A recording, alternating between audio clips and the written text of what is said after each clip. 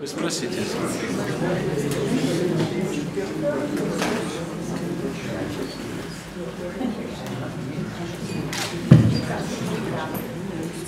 Садись, сюда, садись. Садись. Labą. Tai sveiki atėję, išgyvenę tą karštą, aš galvoju, kad neteisiu kol čia jau, bet nieko kažkaip tai. Va, ir šiandien turim labai įdomų e, įvykį, turim e, vokietį, jo, vokietį, kuris šneka rusiškai. Tai ne kasdien šiaip, ir, ir vokietį, kuris e, gan neblogai išmano Rusiją, ta prasme, ne iš knygų, ne iš, e, e, ne iš paskaitų, bet tai yra žmogus 20 e, Jeigu galima, kalbėsiu aš. Alio, labą dieną. Alio, labą dieną. Gal, gal pasakysiu, ne? ne? Gerai, ačiū. Tai va, tai uh, Tomas Fasbenderis, uh, pragyvenęs Rusijai 23 metus ir daręs skirtingus dalykus. Uh, buvęs ir versle ir rašęs dirbęs žurnalistikai parašęs netgi knygą apie Rusiją, kuri gaila tik tai yra vokiečių kalba kol kas, dar neišversta į rusų kalbą, bet žadėjo, kad galbūt kažkada tai bus išversta ir rusų kalbą. Tai aš irgi galvoju, malonumu paskaitysiu, nes vis tiek įdomu, kaip, kaip iš tikrųjų žmonės mato tą Rusiją, kur mm, būdami kitos tautybės ir gyveni ilgai, jie visai kažkaip kitaip priima. Va, o šiandien kalbėsim iš tikrųjų, e, tema yra tokia politinė truputėlį. Neįsigaskite, aišku, apie Europos Sąjungą, e, Tomas mano, kad jinai yra aklavietė, aš galbūt taip nemanau, bet e, galėsim pasiginčyti su, su Tomu iš tikrųjų. Bet tema iš tikrųjų bus apie Europos Sąjungą, apie, manau, kad daug bus e, ir apie santykius su Rusija, ir apie santykius su JAV. Mes šiandien jau turėjom tokią neblogą diskusiją, iš tikrųjų, kodėl mes taip skirtingai reaguojam į kada į, į tai, kas vyksta Europos Sąjungoje ir tai, kas vyksta, tarkim, tarp Amerikos ir JAV. Va, tai aš manau, kad bus įdomu, tai, žodžiu, linkiu visiems gerą vakarą klausimai. Knygų neturim šiandien, bet vis tiek klauskite, nes manau, kad yra, kad, kad ir padiskutuoti, reiškia, ir pasiginčyti galbūt kartais, reiškia. Va, eilinį kartą labai prašau visų išsijungti mobilius telefonus, nors žinau, kad mano prašymas nepasiekia tikriausiai kai kurių ausų, nors aš ir labai garsiai sakau ir labai dažnai kartuoju, bet nu, padarykit šventę vieną kartą gyvenime. Išsijungit, kad nesuskambėtų per susitikimą. Gerai? Ačiū labai и добрый вечер всем. Что Томас понял, о чем я говорил, То я говорю, что у нас сегодня интересный гость, это немец, говорящий на русском языке, это не часто бывает, и немец, который знает много про Россию, потому что вы там жили 23 года, занимались разными вещами, и не говорил про все вещи, которые вы занимались. Это ставлю для вас, если захотите. Вот, и говорил про сегодняшнюю тему, что, э, которая называется Евросоюз в тупике. Я не думаю, что он в тупике, но послушаю вас, может, может вы меня убедите. Э, еще говорю, что действительно всегда интересно мнение человека, который видит вещи не только, знает вещи не только из книг, но который знает изнутри, как вы, которые жили в России. И как мы сегодня вот э, за обедом говорили, что все-таки так выходит, что большую часть сознательной своей жизни э, Томас жил в России, а не в Германии. И вот там даже рассказывал, что когда приехал в Германию, потом после России ему было странно в Германии, хотя он сам не из Германии. Вот. И, так что хорошего всем вечера. Слушайте, спрашивайте. Э, Kaip save ginčytis su rusiškai Спорте. в спорте, да. И всем будет интересно. Пожалуйста, Томас Фасбендер, слово за вами.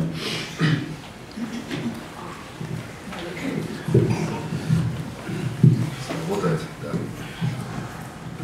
И в случае Финляндии никогда не э, являлись э, частью Советского Союза. Очень э, горячий и очень интересно для нас в Германии, не только в Германии, регион Европы. И э, о Европе э, сегодня речь. Я начну э, с тем, о, котором, о, чем Артур говорил, тупик нехорошее слово, нехорошее положение, но я вам скажу, и вы знаете по жизненному опыту, э, что у каждого тупика есть свой выход. Эм, Иногда надо на 180, град- на 180 градусов обратно идти, да, но выход на, найдется. Еще одно слово. Почему именно Литва для меня э, в данное время так интересная страна?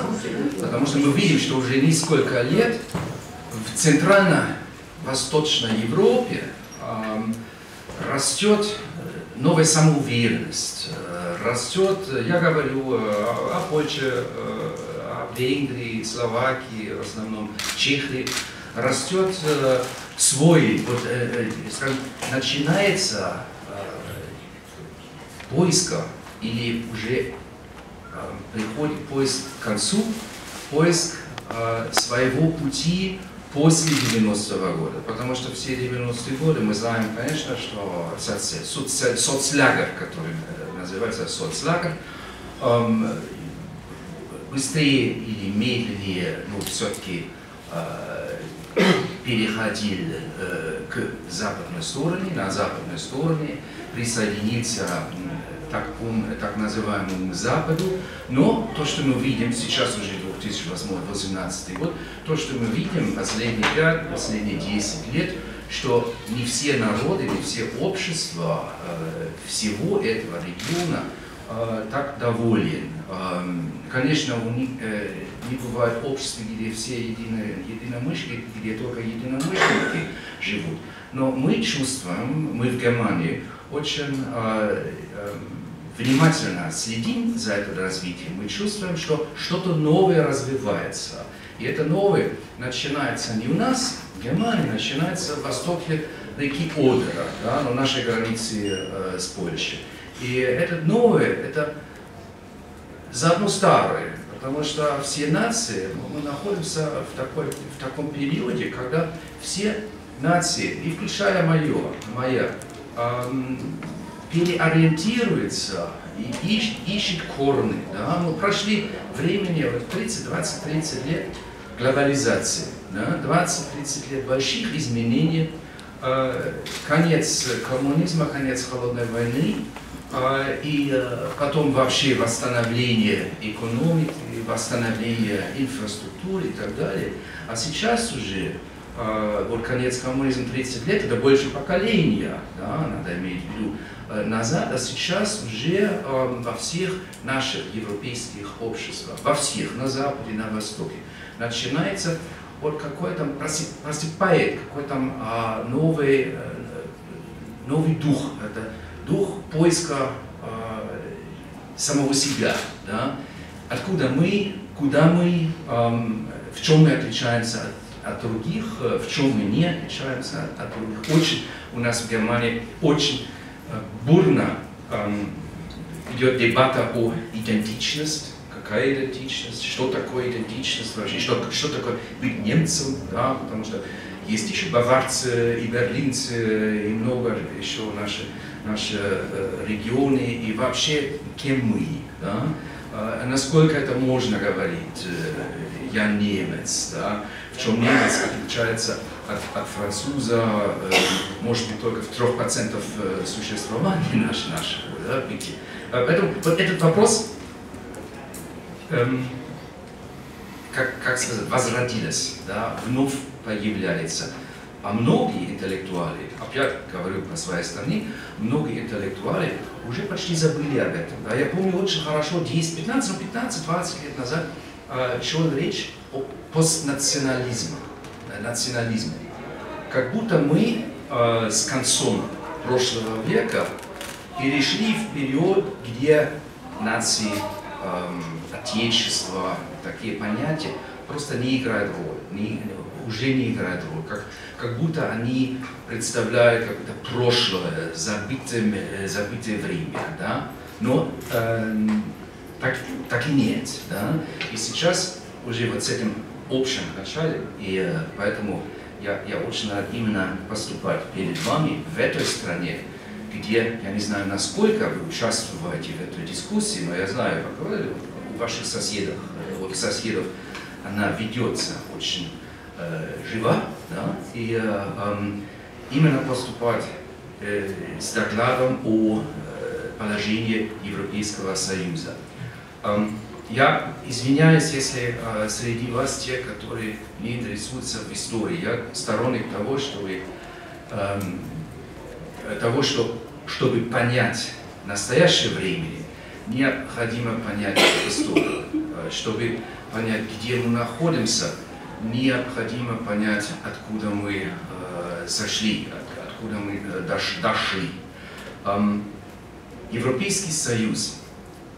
Европейский Союз это вообще не первое название той институции, о которой мы говорим. Э, был создан в 1957 году с такими с так называемыми римскими э, договорами. Римские договора э, подписали ровно, когда мы не был один месяц. Да? Поэтому я как-то современный э, свидетель этого проекта. Эм, в 1957 году объединились в экономический еще не союз, это был Gemeinschaft, ну, Gemeinschaft и Union, немецкие слова, может быть, союз, может быть, есть другие слова. Gemeinschaft что? Объединение. Объединение, да. Европейское экономическое объединение. Europäische Wirtschaftsgemeinschaft, Европейское экономическое, еще экономическое объединение. Объединились шесть, да, да, шесть стран. Германия, Франция, Люксембург, Бельгия, Голландия и Италия. Австрия еще не является. Интересно э, два момента. Во-первых, что именно эти страны, с исключением Австрии, которая не шел в этот союз, представляют э, так называемое каролингское государство. Да? Это государство э, короля, э, немецко-французского короля Карла, Карла, Велик, Карла Великого, да? 1200 200 лет назад. И почему я это упоминаю? Потому что здесь играет роль не только экономические факторы, даже не только политические факторы, и культурные факторы, исторические факторы. Да? К этому еще мы вернемся. Второй момент, почему? Почему был создан вот так, такой проект? Вот представьте себе э, ситуацию после 1945 года. Да? Эм, была одна большая проблема для политиков, историков, что делать с этой Германией. Потому, потому что Германия, конечно, э, явно проиграла, э, проиграла э, войну. Германия была наполовину или больше уничтожена, но Германия была там, да, там еще жили там 60-70 в свое время, по-моему, миллионов людей, и никто не знал, да, фашизм был уничтожен, да, но никто не знал, что делать с этой поганой Германией, извините эти слова. Это действительно, это действительно было очень сложно для американцев, ну, для всех победителей, Советский Союз, Америка, Франция, Германия, и еще для других европейских стран.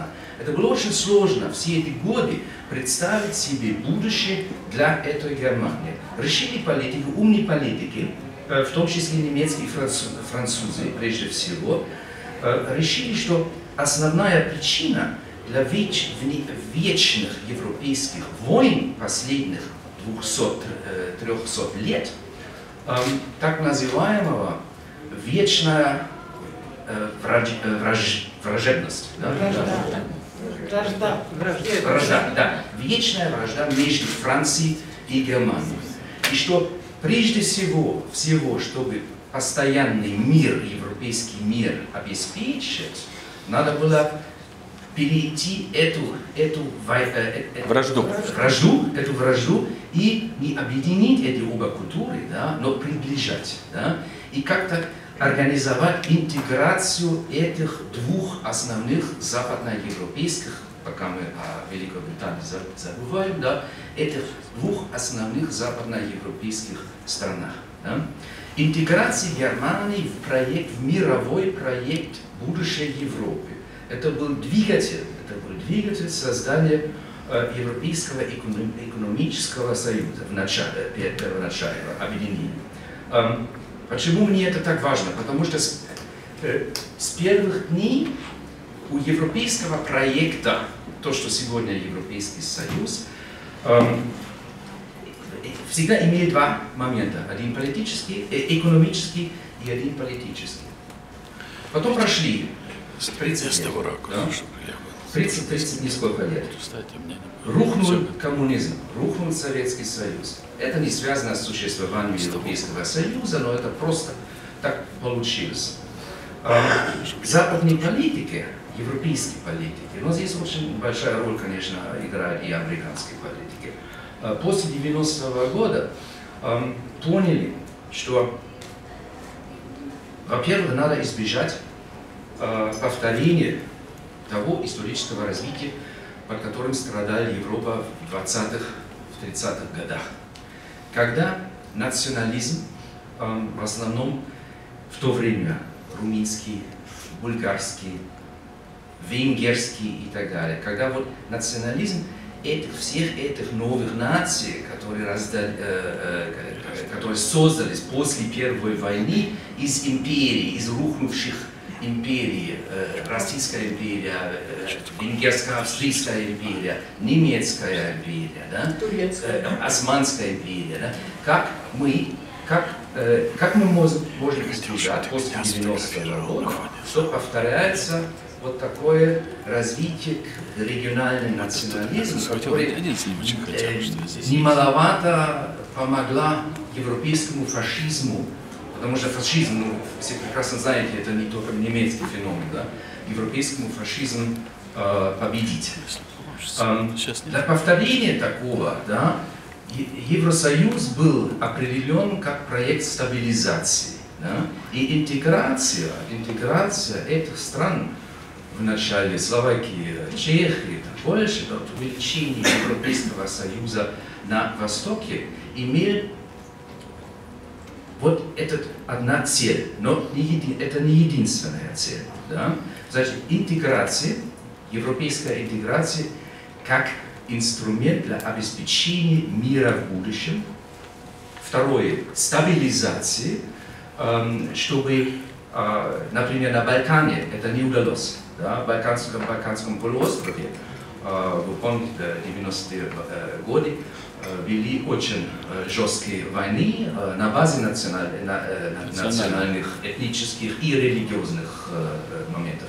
Это, чтобы этого не повторилось, не увеличивалось э, во всех остальных европейских регионах, да, э, воспользовались проектом Европейского Союза и, конечно, продвинули политики, западной политики, э, э, сильно продвинулись с, многими э, стремлениями, много стремились к тому, чтобы увеличить Европейский Союз, чтобы обеспечить вхождение в европейское пространство как можно больше стран. да, до последнего увеличения в 2004 году, когда тоже ваша, ваша страна вместе с э, вашими соседями вошли э, в Союз. Эм, третий момент.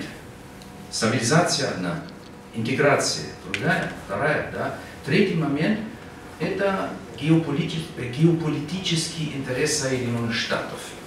Потому что еще, э, еще в 90-х годах я прекрасно помню, что еще немного, но э, нисколько политиков, э, не политиков, политологов, политологов, аналитиков э, говори- говорили о гр- грузающем э, возвращением э, России, Российской Федерации, э, ну, грузающем со стороны запад- западного человека, эм, на, на, эм, в качестве мирового, мировой державы. А В 90-е годы, мы все знаем, все помним, в каком состоянии э, находится Россия. Не была Россия в то, в то время угроза, но в Америке, не только в Америке, э, умные люди писали о том, что то, что есть сегодня, не обязательно должен быть, сегодня, э, должен быть завтра. да. И э, для того эм, такие люди, как Бжезинский, э, со- советник не только одного министра иностранных дел США и другие, они писали еще в ранних 90-х, что для того, э, чтобы на будущее навсегда Россия не смогла эм, мешать э, увеличению, проекту увеличения э, либеральной да- э, демократии по западным меркам, э, необходимо его э, ограничит. Containment есть э, такое английское держать, да, containment есть сдерживать, сдерживать, сдерживание. Э, пос, уже после Первой войны cordon sanitaire, вот это французское, французское выражение, был изобретен для того, чтобы сдерживать большевиков. В то время это было еще, речь еще шла о, большевик, о большевиках, да. После, после Второй войны потом уже это containment, сдерживание. А, а такой, такая же мысль продолжает, продолжается э, в западных э, политических кругах, что для обеспечения либеральной демократии в, э, в Европе необходимо сдерживание Российской Федерации. Да? Сегодня нет коммунизма, сегодня э, это все прошлое, да? но э, основная мысль, основная мысль выживает. И он, конечно, э, тоже дает свои, свою энергию в политические действия. И увеличение Европейского Союза, почему мне это так важно, не только, но это, это не моно, мо- э, э, монокаузальное, да? здесь, здесь разные причины в одном времени. Да? Интеграции, стабилизации и избежание э, вредения Россией будущей Европе по представлениям америка- э, э, американцев э, и э, тоже сам- э, наших западных э, демократов. да. Эм, Довольно быстро оказалось, что объединение Европы э, даже до того степени, э, что можно думать о Соединенных Штатах э, Европы, Штатах Европы, не получается. Еще в 90-х это стало понятно, что не получается. Не из-за русских, просто из-за того, что Европа это, Европа это с одной стороны это какое-то единство, но это единство очень множественного. Да?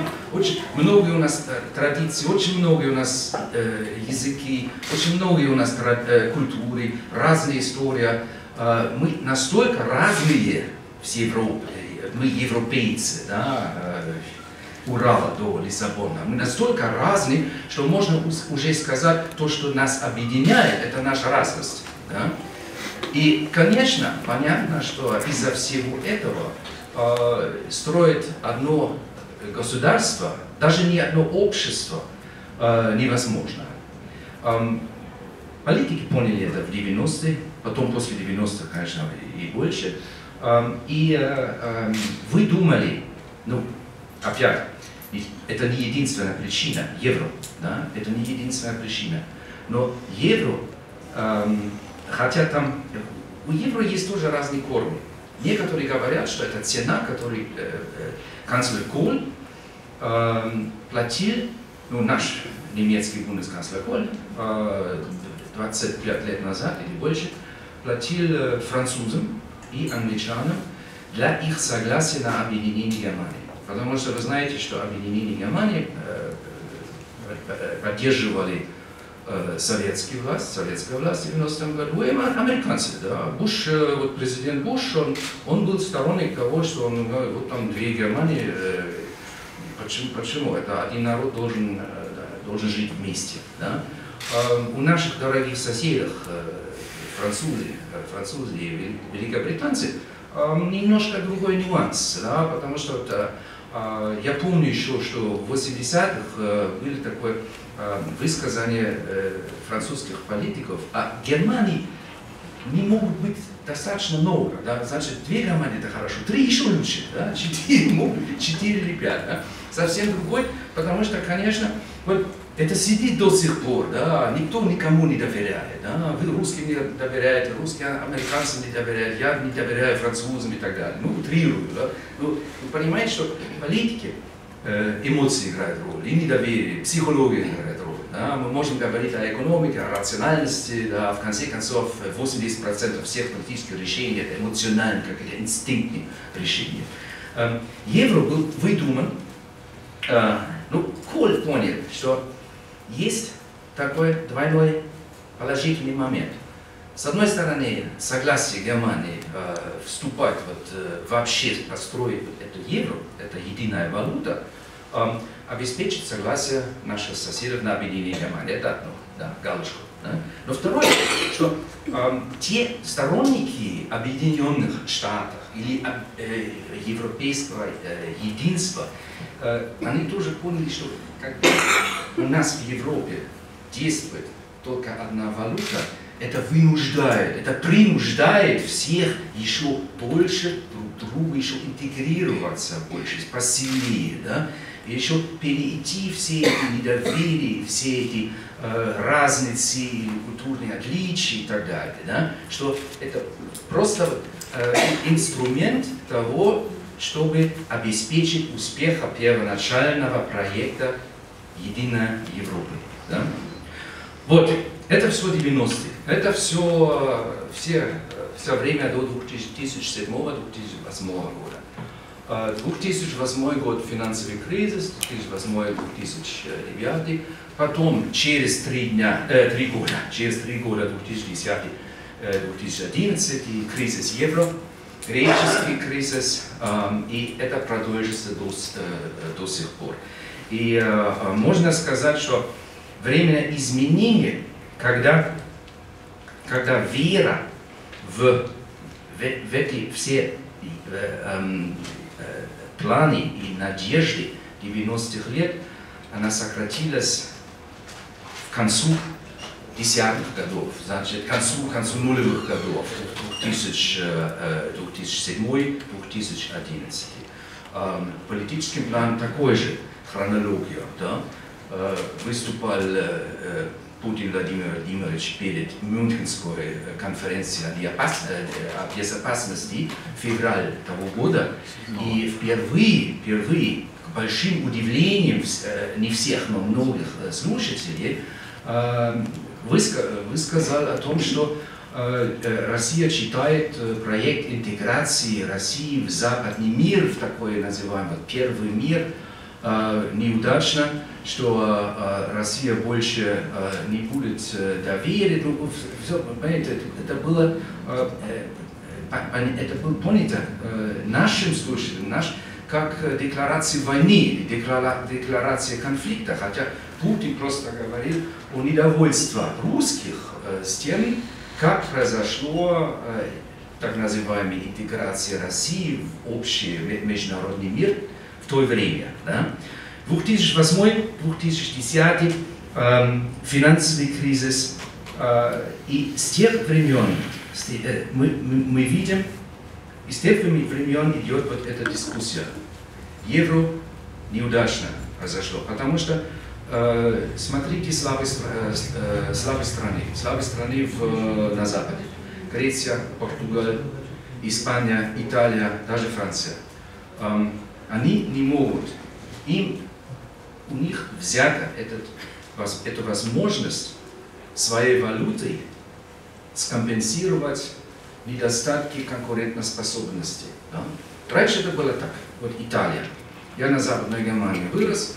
Мы часто вот еще с 70-х годах, вот еще школьники ездили там поездом в Италию, и всегда вот в Италии спагетти, тарелку спагетти стоит тысячи лир. Это всегда было тысячи лир. Но эти тысячи лир стоили совсем по-разному. Один год они 80 феник, был еще дойчмарк, да. Другой год полтора э, марка, да. Значит, вот эти тысячи лир, у них это всегда было тысячи лир. Но они смогли, конечно, поскольку в Италии, э, болезнь Италии, это слабая экономика, да, они всегда скомпенсировали ее слабость э, с, с валютой, с курсом валюты. То же самое у португальцев, то же самое у греков. Да? Но этот инструмент сейчас а, нету, не существует. И в Португалии, да, я, я каждый год вот, э, отдыхаю в Португалии, да, прекрасная страна, но там 20-30% молодого населения не найдет место работы. Там практически сельское хозяйство не конкурентоспособно, э, э, э, абсолютно нет возможности конкурировать Германии, конкурировать Голландии. Да? Эм, то же самое в Греции.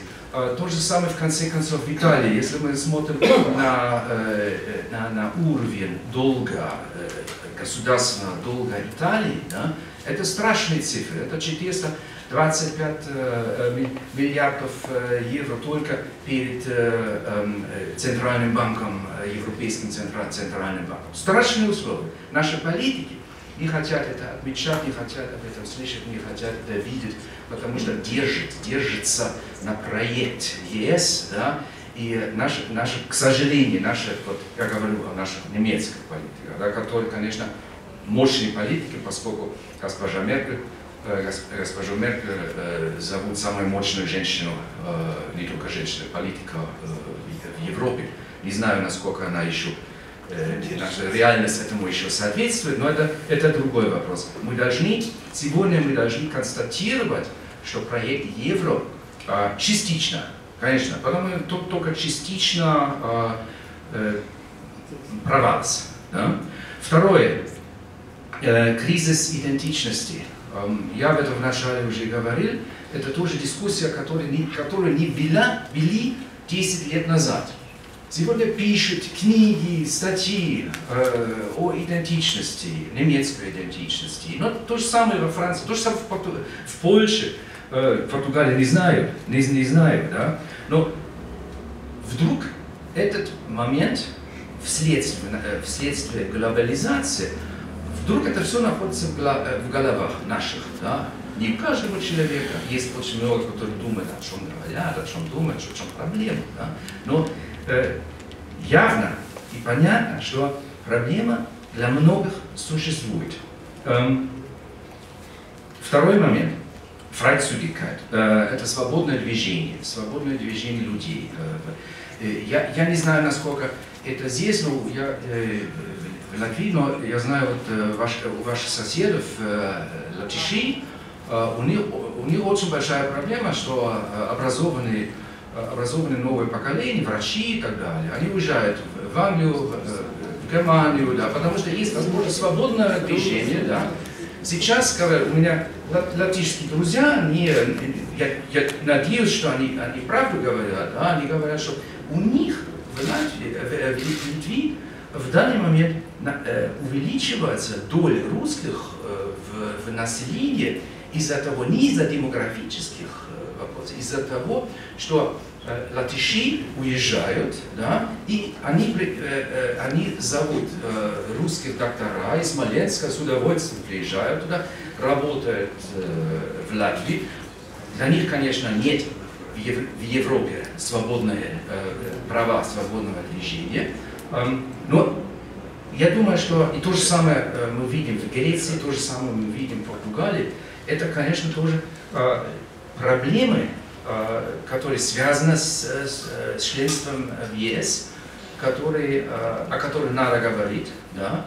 Э, Я из-за этого не говорю, я, я последний человек, который говорит, что ЕС плохая вещь, вообще нет. Да? Я просто э, хочу вырабатывать и понимать эти моменты, положительные моменты и отрицательные моменты. Я считаю, это отрицательный момент, хо- хотя, конечно, для доктора из Риги, которому предали, э, э, пр- предлагают 120 тысяч евро зарабатывать в Берлине или в Англии, очень хороший момент, да? Кому так, да? кому как.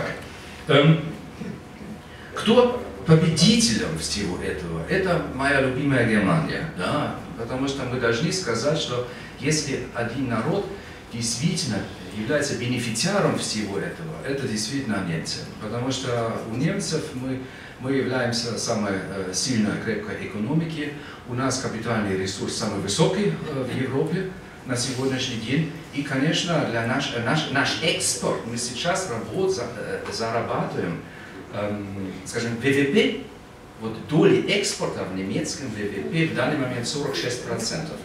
Это два раза выше, чем, а, э, чем э, это три раза выше, чем, чем в Китае даже. Да? Все думают, Китай только от экспорта живет.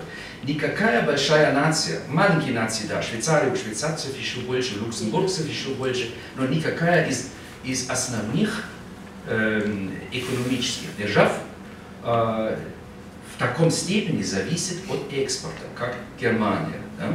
Это, очень, это очень важный момент. И почему? И, и это увеличилось э, с момента введения, э, введения евро от 22% да, доли экспорта в 2000 году доля экспорта в ВВП Германии чуть больше 20%. Сегодня, 18 лет спустя, 46%. Да? Поэтому понятно, что у наших, да, что мои, они очень боятся любых изменений, да, снятие евро, Трамп, протекционизм Трампа, это все страшно, потому что это настоящая угроза для немецкой экономики. Да? Поэтому вы, когда госпожа Меркель поступает, делает свои политические э, высказывания, да, надо иметь в виду, что интерес Германии здесь очень особый. Эм, Сейчас перейдем от экономики еще больше к философии. Э, Идентичность – это тоже философический вопрос. Другая – это ценности. То, что мы видим последние 10 лет, это тоже дискуссия, которая не вела от 90-х. Эм, Это так называемые европейские ценности. Здесь разные. Это очень сложно, это очень тонкое дело, потому что, с одной стороны, некоторые понимают правовое государство, э, деление auch Gewaltenteilung, кто, кто мне помочь? Г- Gewaltenteilung, деление äh, äh, демократического государства есть экзекутива, юрис, э, легислатива, есть Судебная, исполнительная и законодательная власть. да, Три да, власти. деление Да, на три власти, да, да. Ну хорошо, деление властей. Мы знаем это, прекрасно понимаем. Я знаю, да, как сказать, я не знаю. Мы вам подсказали. Подсказали. Да. Ну, вот, это какие базовые, базовые ценности, да? Но об этом еще спорить даже э, не хочется, потому что любой человек понимает, что да, это более-менее и так, потому что демократические государства должен иметь э, такие свойства. Да? Э, но идем ещ- еще дальше, да, э, права индиви- индивидуума и права коллектива, отношения индивидуум-коллектив, и уже в разных странах, в разных культурах э, оказываются разные позиции. Э, Я просто нап- напоминаю эм, э, вот одна, однополевого брака. Да? Да. Это, это вопрос, который вызывает везде разные очень эмоциональные ответы. Да? И это вопрос, который действительно не объединяет Европу в данный момент. В Европе есть страны, в обществе которых большинство строго за и строго против. да. Есть разные развития, есть, есть разные темпы, есть даже непонятно, э, куда это все двигается. Да? Я не сторонник э, эм, линейного развития истории. Я не думаю, честно говоря, что история развивается так, что там один лидер, который впереди, и все другие за ним ходят. Я думаю, что э, тем более, когда мы смотрим не только на Европу, но, но еще Азию, Америки, да, что э, история все, э, в, основном все равно развивается совсем, по совсем другим векторам, по разным векторам. Да, намного сложнее, чем сказать, что ну, мы, мы в Германии э, сейчас здесь находимся, а ну, китайцы, русские, они, они немножко попозже приходят, да, но они ходят э, по большому плану по тому же, по тому же пути, не ходят. Нет, ни одного пути э, для, для всех. Э, И э, э, я тоже самое скажу моим соотечественникам э, в Германии, ребята, не думайте, что то, что у вас, и то, что как вы, да, является как-то примером да, для всех, а вы не кумиром никого. Да? И каждый ходит по-своему, и поэтому я возвращаюсь э, тупике, да? поэтому, когда я говорю тупик, есть тупик, да, я не имею в виду, что ЕС это неправильный путь, да, что просто и тупик это, э, это просто, э, скажем, выражение того, что мы должны как-то вновь думать, что тот вектор, по которому мы шли 20-25 лет, должен быть передумано. Да? И может даже быть, что мы, европейцы, вместе найдем не только один ответ на переструктурирование, переориентации этого вектора, что мы на- находим разные. Потому что э, какая ситуация сегодня? Посмотрим в будущее. Эм, наши элиты, не знаю про вас, про ваших, да, но в Германии, я бы сказал, во Франции, в Италии уже э, э, другая начинается. Но в основном во Франции очень консервативный строй. Да? Очень наша элита, правые и, э, и, и, и левые, кроме вот так экстремистов, да, у нас, конечно, есть экстремистов, правые, левые, да, но когда я говорю о элите, я говорю о тех, кто си сидят на рычагах, да, кто сидят в Берлине. Вот СПД, у нас большая коалиция, да, кто это центристы. Лучше говорить сегодня э, в Германии уже о центристах, чем о левых и о правых. Они более-менее все э, э единомышленные. Но они держат за этих официальных, за, за официальной идеологией объединение Европы, э, увеличение ЕС, может даже увеличение НАТО, но не так, не так важно, о НАТО сегодня мы не говорим, да, и продвижение прогрессивных ценностей, прогрессивных движений, прогрессивных общественных развитий. Эм, и есть еще одно убеждение, эм, к сожалению, такое, в Берлине. Я в Берлине живу, это моя вседневная жизнь, это общаться с этими людьми, с, с нашей элитой. Эм, все будет хорошо. Есть такое убеждение, все будет хорошо, что после Путина будет хороший человек, будет либерал. После Трампа будет хороший человек, будет либерал. Да? Э, после популистов э, будут нормальные, будут а все будет хорошо. Да? А после Меркель? После Меркель будет Меркель. Нет, это действительно, я утрирую, но вы понимаете, да, это действительно так, когда, когда у тебя вообще нет новых идей, реальных идей, как менять курс, да, ты действительно держишь только на надежду, что все будет хорошо, все будет хорошо. Оптимизм. На, наверное, в политбюро в Кремле так. Тот оптимизм был такой, да. А, лучше еще выпить 100 грамм.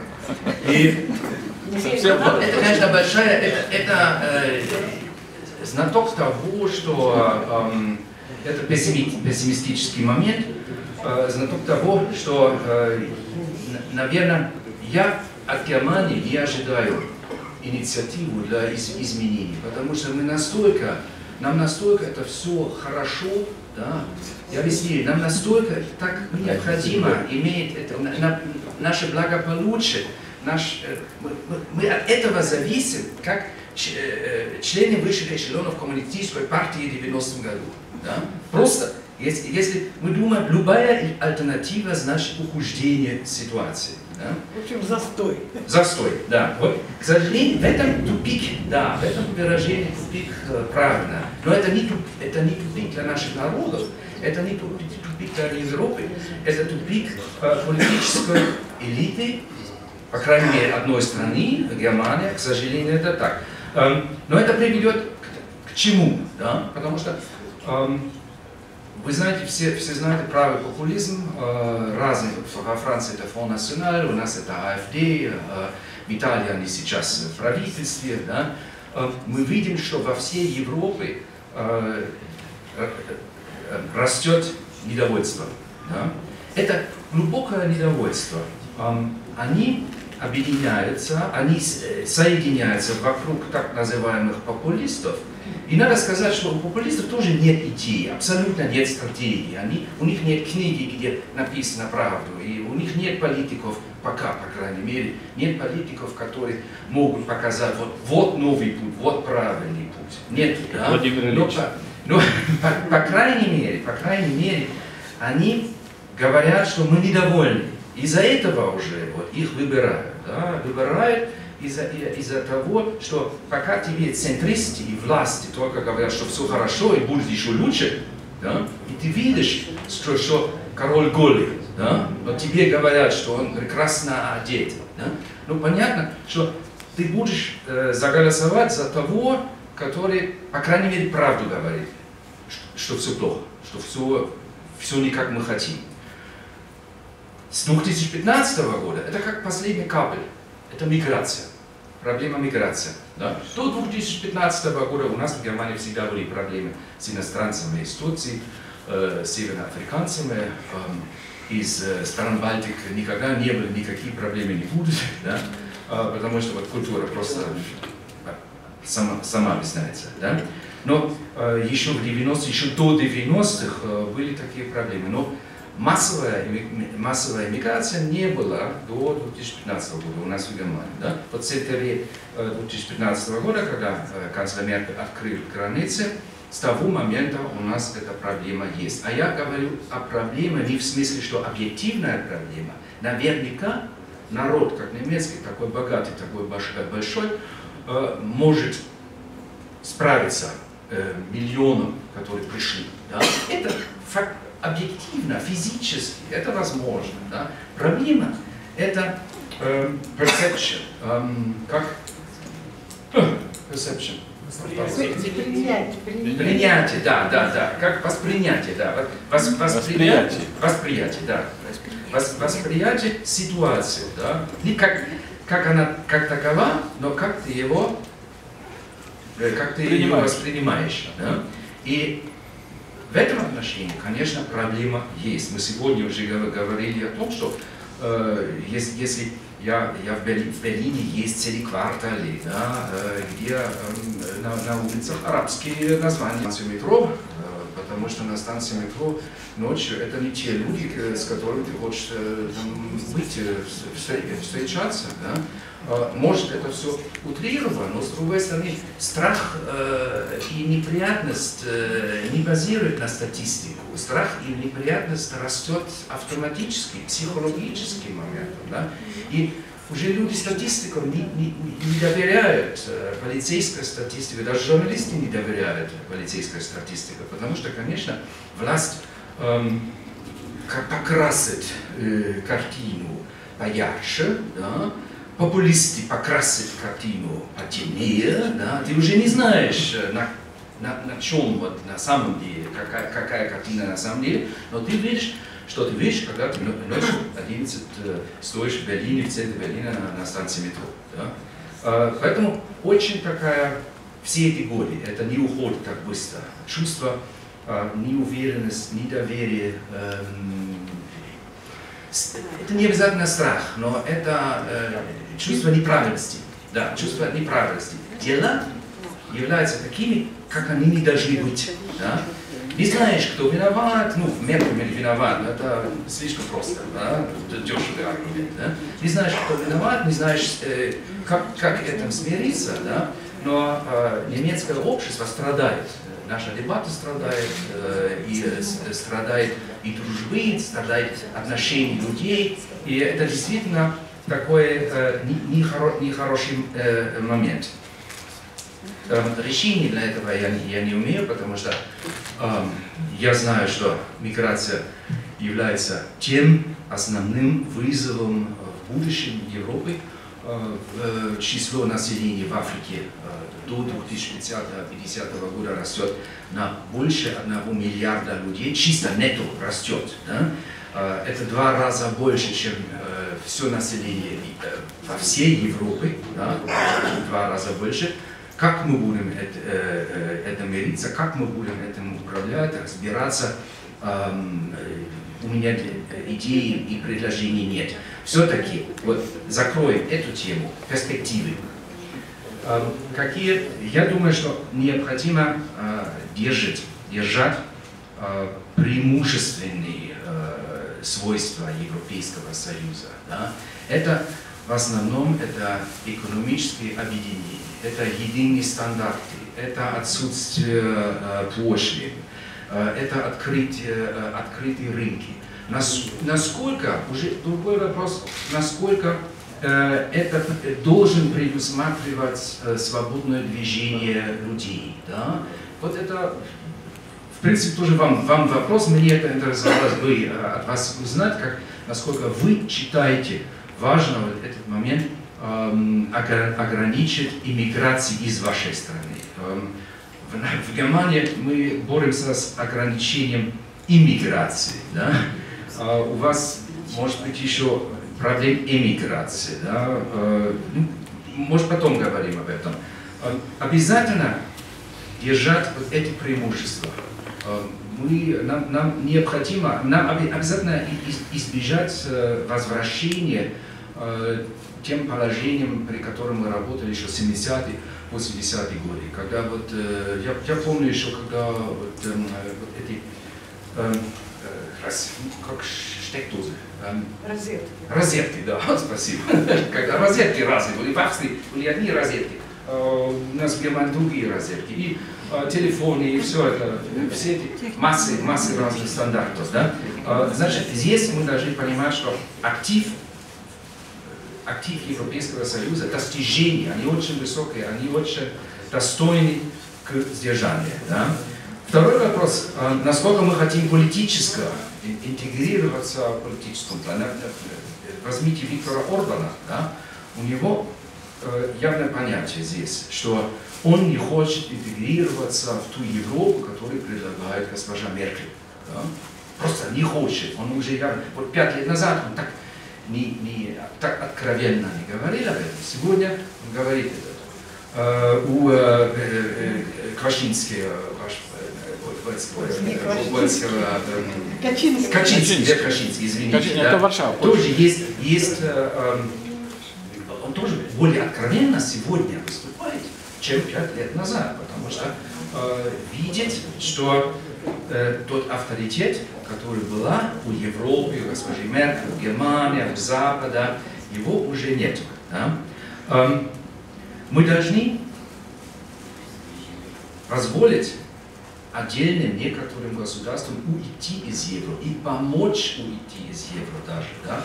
потому что если э, я не про ваши говорю, я говорю сейчас про, Про Англию. Да. Про Англию. Потому что нет, я не знаю. Она Э, Я, я считаю необходимо, что эта система работала ги- гибче. Мы должны позволить э, выхода Англии, э, Великобритании, э, мы должны позволить этот Брексит по условиям, которые обеим сторонам э, э, удобно. Да? Потому что в том случае Великобритания это такая случай, где страна говорит, мы хотим э, держать все экономические эм, положительные стороны, это мы хотим держать, но мы не хотим стать под контролем Брюсселя. Мы хотим контролировать наши границы сами. да. Это, по-моему, абсолютно э, эм, че- честная и возможная, возможная позиция. Ее можно позволить, ее можно принимать положительно, Уважать, положительно, уваж- уважать. Да? Эм, И, конечно, э, в конце концов, сейчас у нас 28 членов. Да? Может, в будущем еще Украина ходит туда, Молдавия, Бог знает. Да? Э, Даже о Грузии есть А вам это речь надо? идет. Да? Ну, это такое, я сейчас надо, не надо, не говорю, но если мы хотим такое, если мы хотим такое эм, институция, такую институция, как Европейский Союз, который включает всю это огромное пространство и должна быть еще жизнеспособна, да, то мы должны позволить всем членам э, определение своих общественных э, положений, определение своих тоже общественных, держание своих общественных традиций и так далее. Да? Мы не можем брать просто один вот такой немецкий метр, да, как э, заметку, да, и всех мерить Одной линейкой, да. линейкой, Одной да, линейкой. Все, по нашей немецкой или, итальянской, или, или любой линейку. Эм, Последнее, у меня есть еще пять минут? Да, есть, хорошо. Эм, Отношение к России. Я намеренно о России э, сегодня не говорю, потому что тема была ЕС, Европейский Союз, Европа. Э, Я думаю, что у нас э, даже без России проблемы хватает в полно, да, но есть еще Россия. Да. Многие на Западе хотели, что ее не было, но она есть. Вот в чем проблема. Так, так просто убрать, так просто убрать не получится. Да? Пробовали. Э, пробовали, да, вот мои пробовали 156 дивизионов, да, не хватили. Эм,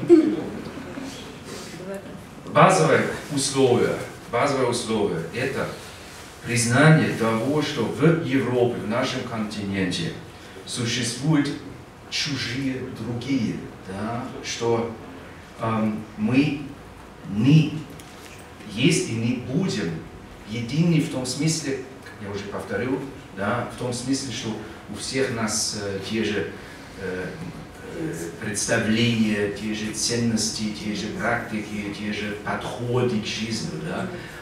Если мы не успеем вновь э, положительно признать э, наши эм, необщность, общности, да, необщности, т- того, что не общ, общее у нас, да, э, вот эта Европа рухнет. Эта Европа рухнет, вновь рухнет, потому что мы находимся по абсолютно неправильному пути, хотим опять вот эту линейку для всех. Да. Это касается и России.